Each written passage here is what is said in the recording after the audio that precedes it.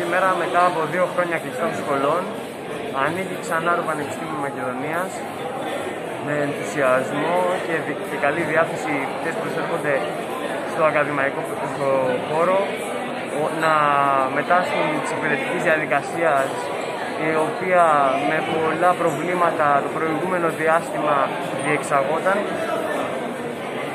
Ε, φέτος ε, η νέα χρονιά με, ε, μας βρίσκει στο ίδιο σημείο από που κλείσαμε.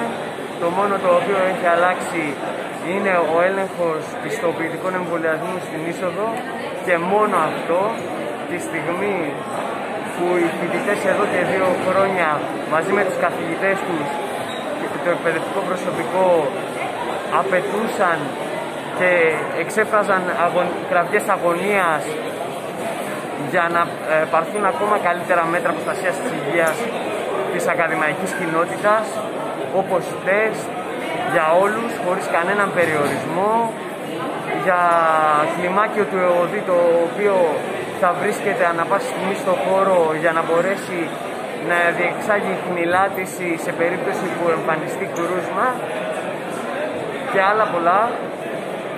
Αλλά βλέπουμε στο ίδιο, μένουμε στο ίδιο έργο θεατές βλέπουμε όλοι μας αυτοί οι προβληματισμοί και η αγωνία να μην έχει εισακουστεί. Οι συμφιλητές μας να μπαίνουν μαζικά στις αίθουσες και να συνοστίζονται σε τέτοιο βαθμό απέχοντας απόσταση αναπνοής έχοντας πλέον μετατραπεί το μοναδικό όπλο, το εμβόλιο σε μοναδικό μέτρο ε, δεν μπορούν παρά να οξύνονται οι ανησυχίες μας. Δεν μπορεί παρά κάθε λογικός άνθρωπος να ανησυχεί για το τι μένει γενέστε.